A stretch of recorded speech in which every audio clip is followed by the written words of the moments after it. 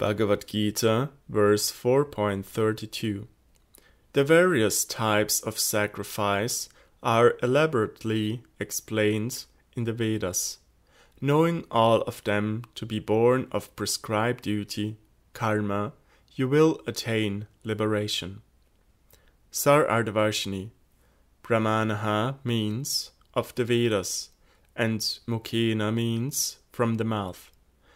Vedena means clearly spoken from my own mouth.